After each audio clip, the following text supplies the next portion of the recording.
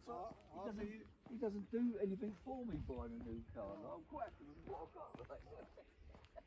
Well, I did.